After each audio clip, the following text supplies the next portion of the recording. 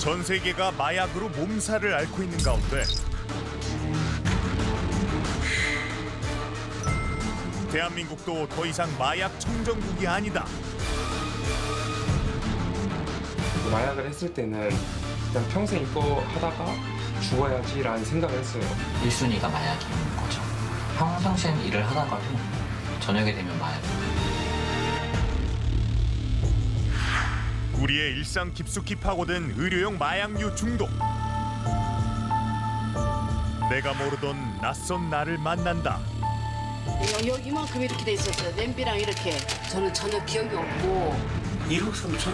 아니다 지금까지 살면서 만난 거는 몇십억이죠. 그쵸 다 합치면 훨씬 큰데 끊을 수 없는 마약의 굴레. 그들은 왜 멈출 수 없는 것일까?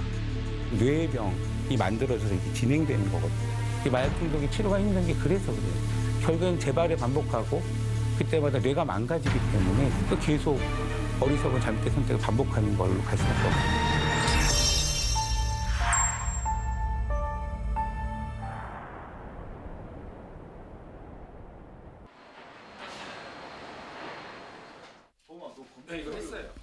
서울에 있는 한 중소 건설업체에서 현장 일을 하고 있는 27살 한명진 씨. 같이 니그 배관부터 먼저 끝내고 SP부터 먼저 끝내고 팀의 막내인데다 부침성도 좋아 귀여움을 독차지하고 있지만 생각지도 못한 과거 이력 때문에 선배들은 걱정이 많습니다. 재판 언제고? 목요일입니다. 네, 목요일이 그 구형 받는 날이고 이제 가가지고 싹싹 빌어라 판사한테 싹싹 빌어가지고 명진 씨는 현재 필로폰 투약 혐의로 1심 재판을 앞두고 있습니다. 시작은 단순한 호기심이었습니다.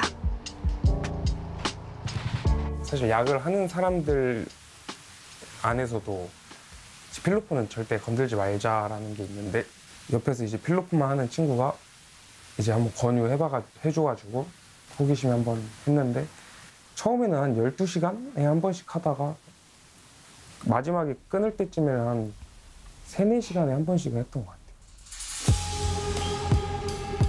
첫 투약에서부터 마약 중독에 이르기까지 그리 오랜 시간이 걸리지 않았습니다. 마약도 마음만 먹으면 쉽게 구할 수 있었습니다. 질풍노도의 청소년기를 보내며 크고 작은 일탈은 있었지만 마약만큼 모든 것을 한꺼번에 무너뜨린 건 없었습니다.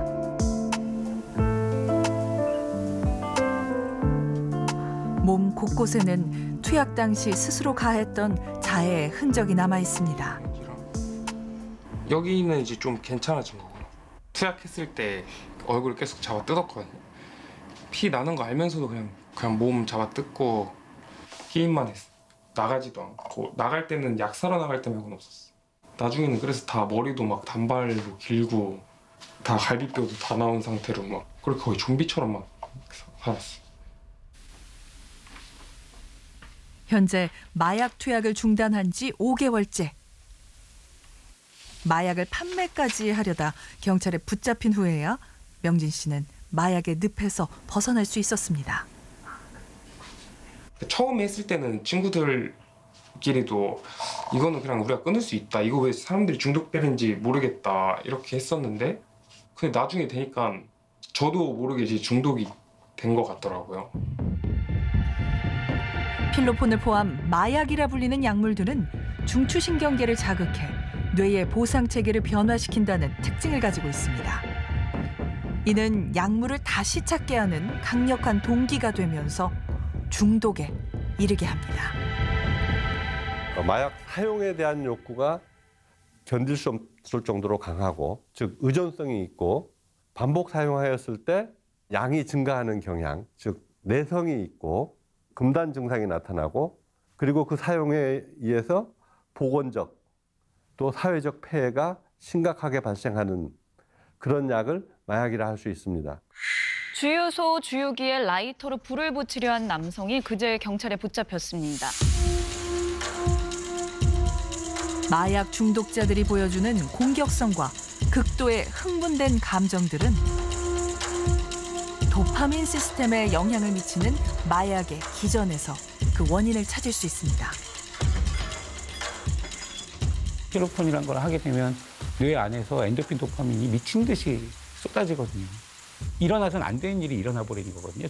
그때 그 전과는 다른 삶이 되는 거고 내 뇌는 너무도 당연하고 자연, 자연스럽게 그리고 집요하게 그 마약을 구하게 하고 나로 하여금 그걸 먹게 만드는 그런 뇌병이 만들어져서 이렇게 진행되는 거거든요. 필로폰을 투약하게 되면 주 성분인 메스암페타민이 혈액을 통해 뇌까지 빠르게 이동하게 되는데 이때 뇌의 기저핵에 있는 보상 시스템에서는 쾌감을 담당하는 도파민이 분비됩니다. 정상치 대비 무려 1200%까지 폭발하듯 분비된 도파민은 수용체와 결합해 과도한 신경 활동을 유발합니다.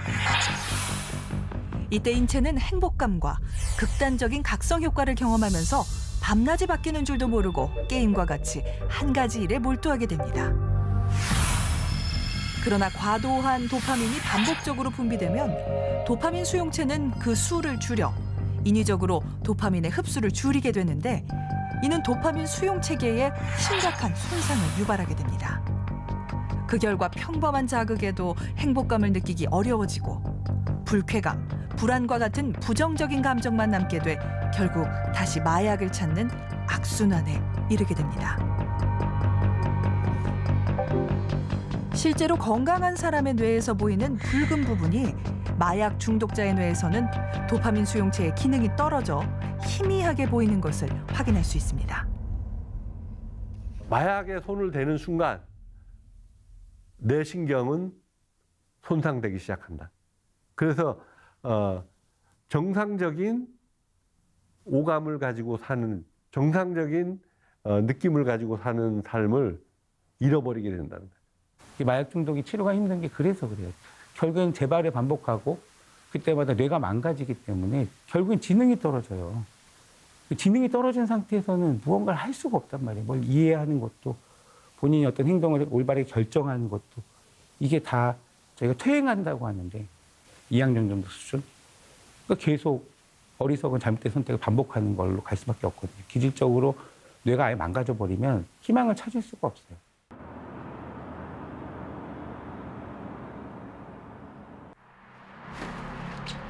조한석 씨는 6년간 필로폰을 투약하다 결국 다니던 직장까지 그만둬야 했습니다. 기분을 좋게 만든다는 친구의 말에 주사기로 약물을 투여했고 나중에야 그 약물이 필로폰이었다는 사실을 알게 됐다는 조 씨. 마약을 막고 싶다는 갈망이 그를 괴롭혔습니다. 조 씨는 중독의 늪으로 더 깊이 빠져들었습니다. 시도 때도 없이 갈망이 올라온다고 생각하시면 돼요. 이유 없이. 그 갈망이 아, 내가 약을 하고 싶다 이런 갈망이 아니라 너무 짜증이 나는 예전에 정말 신나게 놀았는데 이제 나 홀, 혼자 있는 그냥 그런 느낌이랑 비슷하거든요. 너무 지루, 지루하게 느껴지는 거죠, 일상이. 중독된 상태 되면 도취감 때문에 하는 게 아니에요. 마약이 뇌에 안 들어오기 때문에 발생된 절망과 불쾌감, 고통이 너무 극심한 거예요. 그, 그 고통은, 어, 육체적 고통보다 정신적 고통이 훨씬 큰 거예요. 거기서부터 탈피하기 위해서 마약을 하는 거예요. 중독이 되면. 현재 조한석 씨는 2년 반째 마약을 중단한 상태입니다. 마약을 끊기 위해 몸부림친 시간이 이 단약 일지에 고스란히 남아 있습니다. 제 1일차였을 때가 아무래도 가장 힘들기 때문에 네, 60점이 높고 100일이 진짜 되게 힘들거든요. 마약을 하는 게 너무 당연하기 때문에 108, 110일 하고 이제 3일, 4일 된 건 이제 재발해서 넘어진 부분. 부지불식간에 찾아오는 마약을 향한 갈망은 중독자들이 회복을 위해 반드시 견뎌야 하는 가장 큰 고통. 조 씨는 갈망을 느꼈던 상황을 일기처럼 기록하며 다시 마약의 유혹에 빠지지 않도록 자신을 지켜나갔습니다. 요즘은 마약 생각 안 나시나요? 나죠. 가끔 이게 저주라고 느껴질 때도 있어요. 남들은 마약 네가 한 거 아니냐고 얘기하지만 진짜 이게 큰 질병이에요. 진짜 끊을 수가 없거든요. 나 혼자로는 정말 끊을 수가 없어요.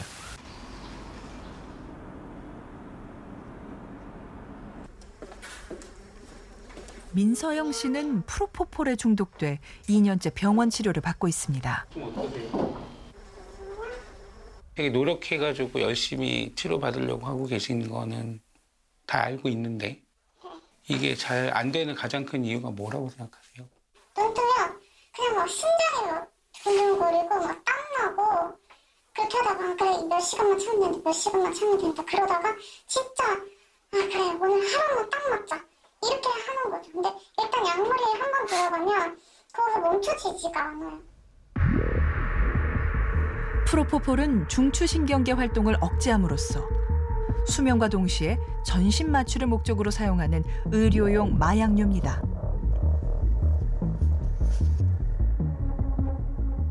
사실 포폴이라는 약물이 처음에 개발될 때만 해도 기존에 썼던 이제 벤조디아제핀계라고 하는 신경안정제 또 미다졸람이나 이런 약물보다 마취 중 사고도 적고 의존성이 전혀 없다고 생각을 했었는데 의외로 이게 너무 잠을 잘 재워주고 이게 저희가 이제 natural sleep이라고 하는 진짜 자연스럽게 훅 재워주고는 깔끔하게 깨워주는 효과가 너무 좋다 보니까 여기에 이제 의존성을 갖고 계속 환자들이 늘어나는 거죠. 피부과 시술 중 통증을 참기 어려워 매번 프로포폴을 맞은 게 문제의 시작이었습니다. 엄청 많죠?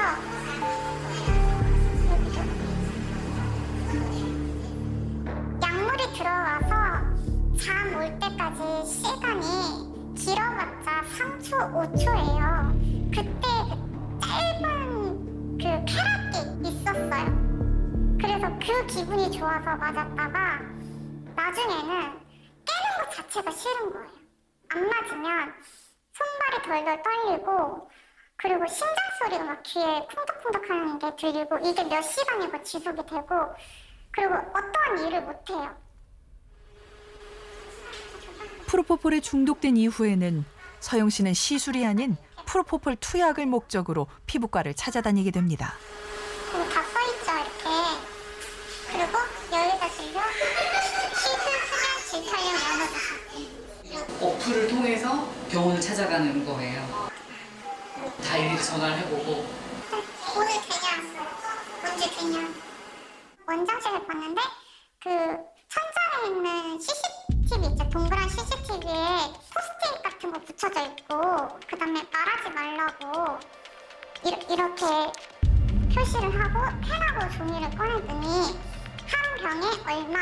이렇게 적더라고요. 그러더니 패키지 10회 얼마?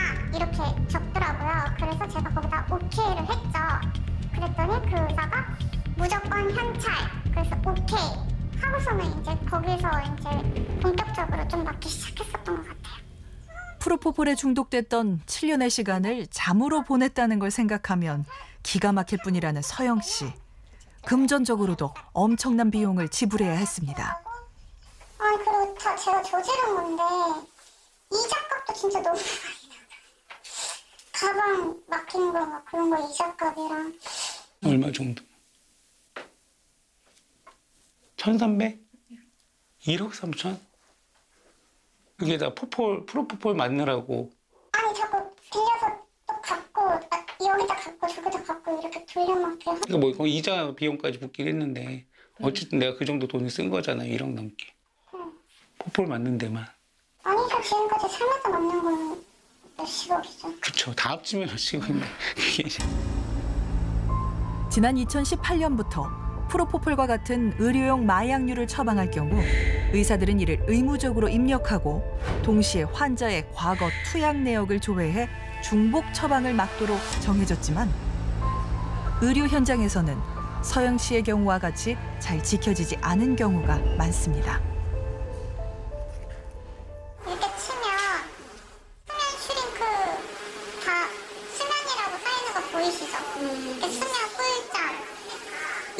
시술하는 시술이 무슨 시술인 거예요? 레이저로 그냥 얼굴 그 탄력도 주고 그리고 불필요한 지방도 없애고 하는 시술로 알고 있거든요. 아파요? 어, 제가 한 번은 그냥 수면하기 전에 궁금해서 그냥 한번 해보려고 했어요. 근데 하나도 안 아파요. 그런데도 수면을 해주는 거네요, 수면 마취를. 네. 제 여러 환자분들을 통해서 확인한 바는 상당히 어, 많은 의원들에서 그런 식으로 포폴 중독자들을 대상으로 대놓고 예, 장사를 하다시피 하는 경우 분명히 많이 있습니다. 진짜 원장님 제발 저 오은부 땡땡 의원 좀 문 닫게 해달라. 자기가 저기가 있는 한은 도저히 못 끊는다. 자기도 진짜 여기서 몇 억씩 썼다. 이런 케이스가 너무 많기 때문에 굉장히 이게 좀 어려운 거죠. 향정신성 의약품이라 불리는 의료용 마약류는 마약과 같이 중추신경계에 작용하는 것으로 오남용할 경우 인체에 심각한 위해가 있다고 인정되는 물질입니다.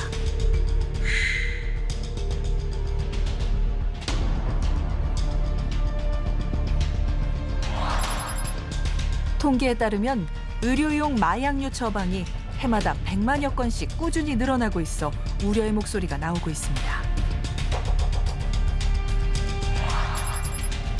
특히 프로포폴과 같은 수면 마취제와 불면증 치료에 쓰이는 졸피뎀 같은 최면 진정제를 처방받는 환자 수가 많은 만큼 이들 약에 대한 부작용으로 고통받는 이들의 수도 늘어나고 있습니다.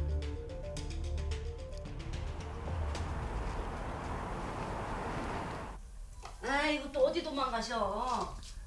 주은미 씨는 오늘도 온종일 반려견 두 마리와 시간을 보냈습니다.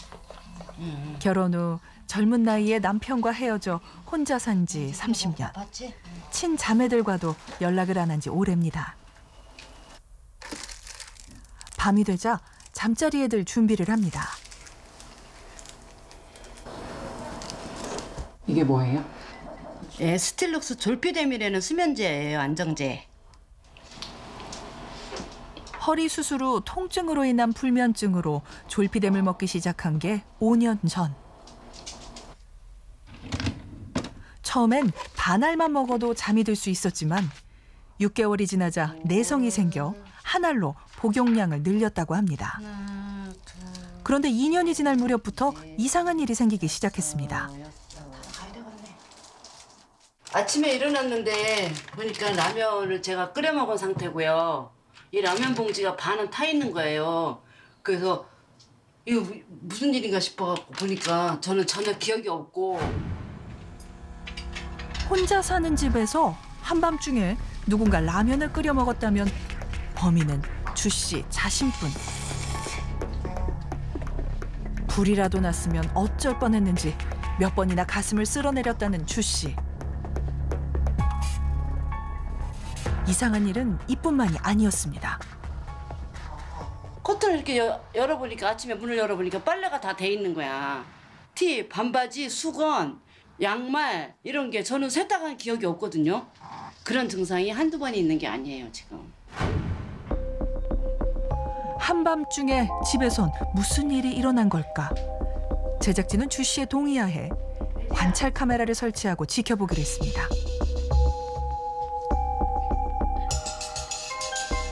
삼일째 되던 날 밤 자정이 넘은 시각 여느 날처럼 졸피뎀 하나를 먹고 잠을 잤던 주 씨가 갑자기 일어나 앉습니다.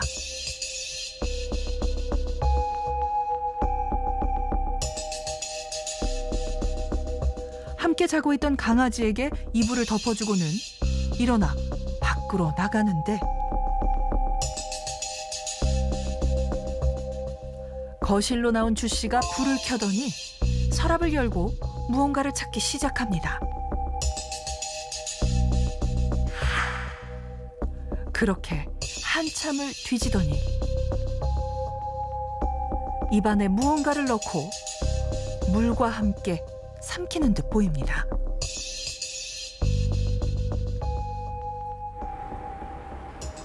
다음 날 아침 다시 좀 누웠다가 제작진은 지난밤 관찰 카메라에 담긴 상황을 주은미 씨와 함께 확인해 봤습니다. 약 들어있던 서랍이잖아요. 네, 약을- 약을 드시는 거. 그러네. 어머, 약을 먹네. 맞네요. 지금 이게 전혀 기억이 안 나요. 기억이 안, 네. 그럼 자다 일어나서 도대체 무슨 약을 먹은 거예요? 주 씨가 한밤중에 서랍 속에서 찾아 먹은 건 졸피뎀 반알이었습니다. 어메 이거 받아 또 먹었네 이거. 졸피뎀? 예. 이게 가끔 이렇게 한 반알씩 이렇게 나와요. 그럼 이게 왜 드신 거? 저는 모르죠. 그걸 나한테 물어보면 어쩐다요. 내가 먹은 거 나도 모르는데. 왜 전혀 기억이 예. 졸피뎀은 수면 효과가 좋은 약이지만 내성과 의존성으로 인해 오남용 시 부작용을 일으킬 수 있어 의사의 처방 지시에 따라 복용하는 게 중요합니다. 상당수는 부작용 없이 지낼 수 있는데 부작용이 나타나는 사람들이 분명히 있는 거죠. 첫째는 그 졸피뎀을 먹고 잠이 들기 전까지 막 뭘 먹어요. 식욕이 땡겨서. 제 환자분들 보면 막 먹다가 잠들고 막 그런다고 얘기를 하거든요. 두 번째가 사실은 더 조금 심각하고 무서운 거긴 한데 졸피뎀을 먹긴 했는데 잠은 안 들고 뭐한 시간이든 두 시간이든 이 시간 동안에 약에 취해 있으니까 전두엽 기능이 살짝 마비가 되거든요. 그러니까 판단을 잘 못하죠. 그 사이에서 엉뚱한 행동을 해- 하게 돼요. 그러고 나서 그 다음날 아침에 눈을 뜨면 어디에 있었던 그 행동이 기억이 전혀 안 나는 거죠. 이 기억 상실이 있어요. 그렇다면 졸피뎀은 어떻게 단기 기억 상실이라는 부작용을 생기게 하는 걸까? 혈관을 타고 뇌로 이동한 졸피뎀은 신경세포의 활동을 억제해 뇌의 흥분을 줄이는 가바 수용체와 결합합니다. 그 결과 가바의 억제 작용이 더욱 강화되고 이로 인해 뇌의 신경 활동이 줄어들면서 수면을 유도하게 됩니다. 그러나 졸피뎀을 과용하게 되면 가바의 활동을 더욱 강화할 뿐 아니라 단기 기억을 형성하고 이를 장기 기억으로 변환하는 해마의 활동까지 일시적으로 억제하게 되는데 이로 인해 어떤 행동을 하고도 기억하지 못하는 단기 기억 상실 증상이 나타나게 되는 겁니다. 졸피뎀을 먹고 잠들었던 주 씨가 거실로 나가 약을 꺼내 먹거나 라면을 끓여 먹고도 그 행동을 기억하지 못하는 현상이 바로 여기에 해당합니다. 뿐만 아니라 졸피뎀 복용 후 차를 운전하고 이를 기억하지 못하는 수면 운전도 부작용 중 하나. 실제로 졸피뎀 복용 후 무의식 중에 차량을 몰고 나가 인도를 덮치는 등의 사고가 발생하고 있습니다. 그렇다면 졸피뎀에도 중독이 될 수 있을까? 목이랑 허리가 제일 아픈 것 같아요. 강직성 척추염으로 인한 만성 통증으로 잠을 이루지 못해 10년 전부터 졸피뎀을 복용하기 시작했다는 정민호 씨. 부작용이고. 그러다 3년 전부터 밤에 자기 직전 먹는 약인 졸피뎀을 낮에도 먹기 시작했다고 합니다. 약을 먹고 바로 잠을 자야 되는데 뭐 전화를 한다던가 뭐 게임을 한다던가 이게 조금 붕 뜨는 기분이 들면서 좀 기분이 좋더라고요. 똑같은 걸 해도 뭐 밥을 먹, 먹더라도 약을 먹고 먹는 게 맛있고 뭐 친구랑 전화를 하다, 한다던가 할 때도 약을 먹고 전화할 때 그런 게 즐겁다 보니까 평소에 그냥 맨정신으로는 뭘 하든 색이 없게 보이더라고요. 졸피뎀을 먹지 않고는 견딜 수 없는 날이 많아졌고 복용량도 점차 늘어갔습니다. 원래 다섯 알 먹다가 여섯 알 먹고 내성이 생기니까 또 늘고 하루에 스물여덟 알 많게는 다른 환자들 두 달치 약을 막 하루 만에 먹는 경우도 생기고 나 지금 50알이 넘는 네. 한 번에 먹는 거 아니고 그냥 안 먹으면 금단 증상이 좀 심했거든요. 손도 더 떨리고 말도 못 하겠고 그냥 이런 식으로 좀 식- 이렇게 잡고 있을 때 좀 의식하게 되면 손이 많이 떨리더라고요. 현재 민호 씨는 두 달째 졸피뎀을 끊은 상태.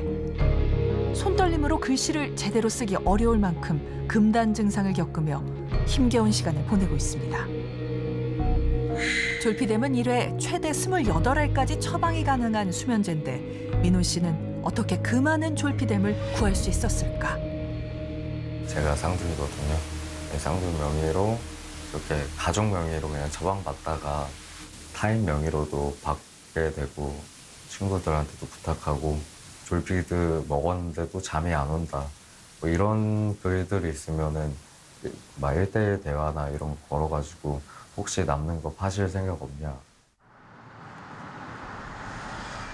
의료용 마약류인 졸피뎀을 어렵지 않게 구할 수 있다는 곳을 찾아 수면에 전혀 문제가 없는 제작진이 졸피뎀 처방을 받아보기로 했습니다.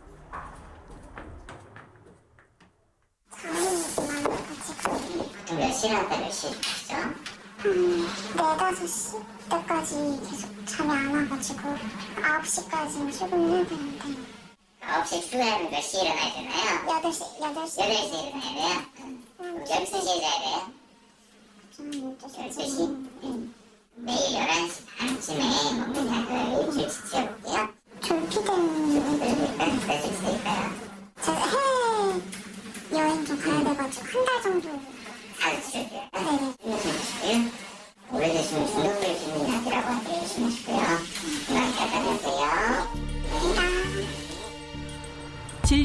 들어간 지 채 5분도 되지 않아 수면에 대한 간단한 문진만으로 의료용 마약류인 졸피뎀을 처방받을 수 있었습니다.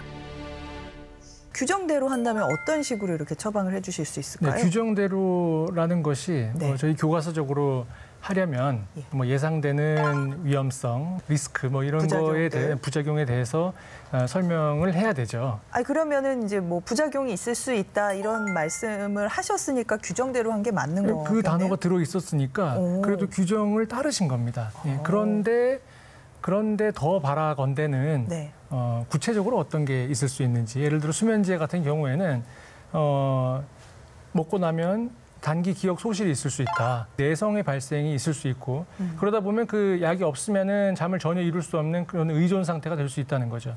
예.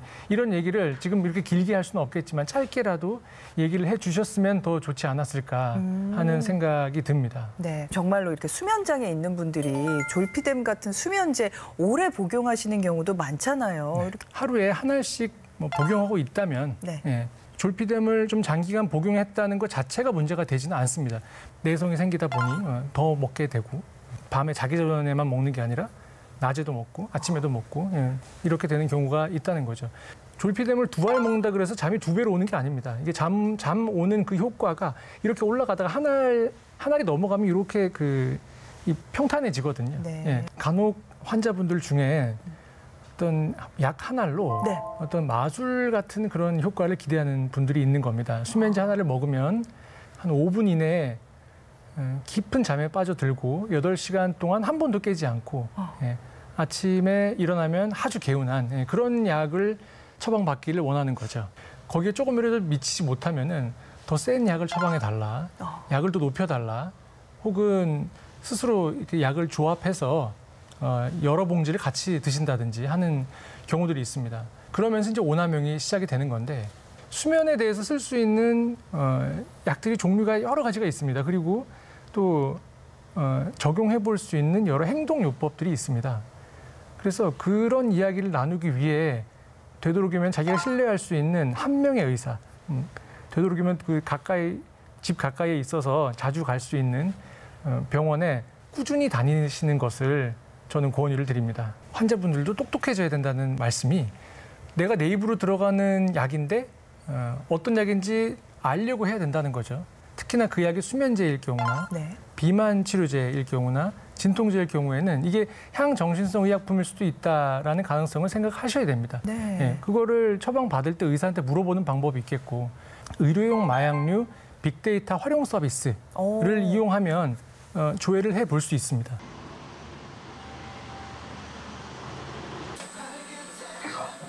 함께 한걸음 센터에서 진행 중인 마약 중독자들의 재활과 치료를 위한 프로그램 현장.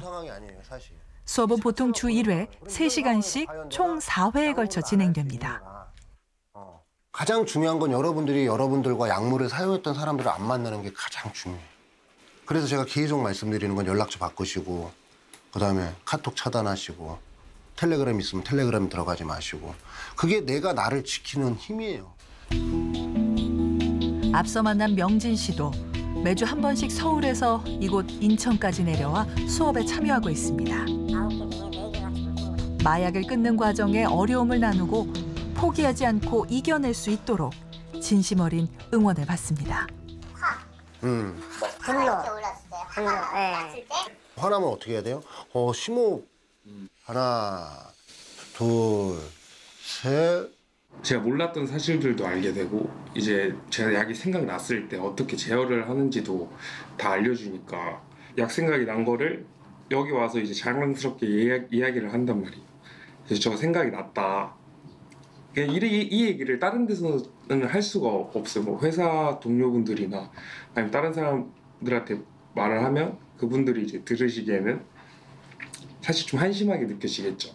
근데 이제 여기 계신 분들은 다 그런 마약을 제가 참았다라는 얘기를 하면 다 칭찬을 해주시고 박수를 쳐주시니까 그런 부분에서 좀 좋은 것 같습니다. 현재 회복 지원가로 활동하고 있는 한창길 씨도 사실 마약을 투약했던 이력이 있습니다.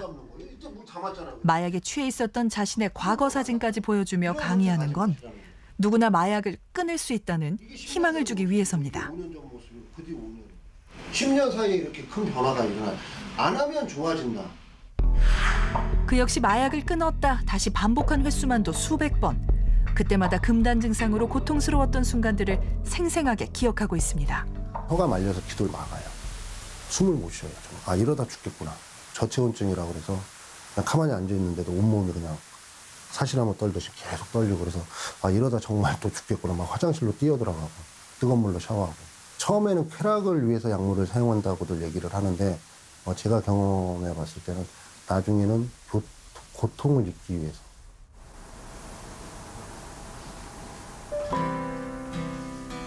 마약에 취해 젊은 시절을 보내고 40대 후반이 돼서야 다시 시작한 삶.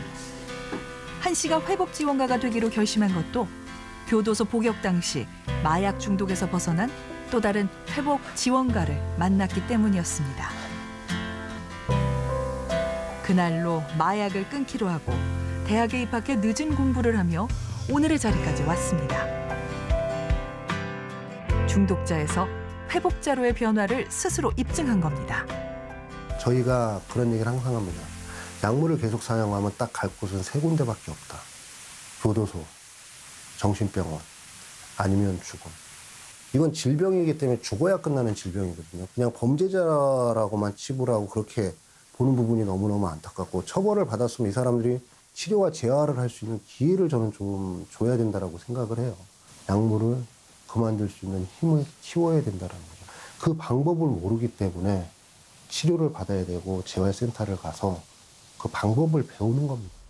recovery 코치라는 것은 처벌보다 치료와 재활이 중요하다는 인식이 확산되고 있지만 현재 마약 중독자 치료 전문 인력은 턱없이 부족한 상황. 제2의 한창길 씨를 양성하기 위해 회복자들을 선별해 회복 지원가를 양성하고 있습니다. 수업에 참여하고 있는 이들 중 낯이 익은 얼굴을 만났습니다. 자꾸 돌면서 재발하는 거나 원리는 똑같아요. 한때 그룹 위너의 멤버로 활동하며 사랑을 받았던 남태현 씨는 지난 2022년 8월 필로폰 투약 혐의로 징역 1년에 집행유예 2년을 선고받았습니다. 이후 적극적인 재활을 거쳐 단약에 성공. 본인의 경험을 바탕으로 마약 재활 치료의 중요성을 적극적으로 알리고 있습니다. 이 약물 중독을 혼자서 해결을 처음에는 하려고 했는데 너무 힘들었고요. 그가 회복 지원가가 되고 싶은 이유는 뭘까? 푸시업을 두 개씩 하겠다. 응, 오케이. 회복을 하는 데 있어- 있어서 가장 중요한 게 정직함이 가장 중요하거든요, 사실.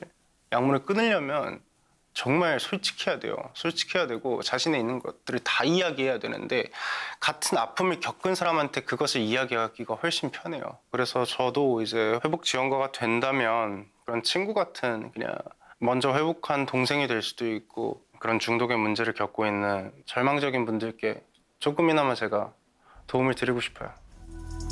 현재 서울, 인천, 부산 등 전국 8개 함께 한걸음 센터에서는 중독자 교육 외에도 개인 상담, 집단 상담 등의 전문 심리 치료도 받을 수 있습니다. 직접 방문이 어려운 경우 24시 마약류 전화 상담 센터인 1342 용기 한걸음 센터를 이용할 수도 있습니다. 마약 중독으로 도움이 필요한 경우 1342 용기 한걸음 센터로 전화를 하면 가까운 지역에 위치한 함께 한걸음 센터를 통해 심리 상담, 중독 교육, 치료 병원 연계 등의 지원을 받을 수 있습니다. 어, 병원에서 어떤 식으로 치료가 이루어지나요? 어, 먼저 이제 금단 증상을 치료를 합니다. 예, 약물을 중단하고 하루 이틀 그때가 이제 제일 힘든데 예, 그때를 저희가 마약이 아닌 다른 약으로 음. 어, 저희가 커버를 해 드리는 겁니다.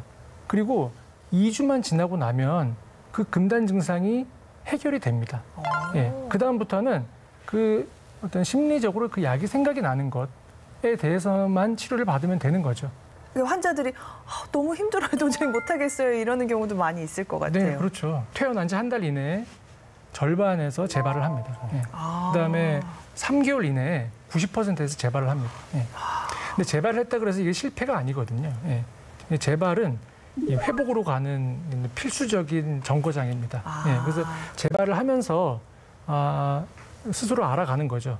1년이 지나고 나면 어, 정말 다른 상태가 됩니다. 그 이유가 그 정도를 참으면 우리 전두엽 기능이 우리 이런 충동과 본능을 한번 걸러주는 예, 그 필터 역할을 해주는 그 뇌의 기능이 상당히 돌아옵니다. 그러면은 이전같이 충동적이고 음, 예민하고 음, 좀 주정 부리는 듯한 그런 모습들이 상당히 사라지는 거죠. 어, 끝으로 교수님 사실 이 순간에도 하, 마약 중독에서 벗어나고 싶어서 몸부림치는 분들도 계실 텐데 그런 분들에게 꼭 해주고 싶은 말씀 있으시면 해주시겠어요? 네. 제가 마약 중독 환자분들을 처음 봤을 때, 어, 저도 이게 과연 될 수 있을까라는 생각을 했습니다. 어, 제가 그러다가, 어, 이 회복자들을 만나기 시작한 거죠. 회복자들을 보면, 어, 매번 볼 때마다 감동입니다. 지금은 그때랑은 전혀 다른 삶을 살고 계시거든요. 네. 그래서 회복될 수 있다는 믿음을 갖고 끝까지 치료에 임하는 것이 제일 중요하다고 하겠습니다.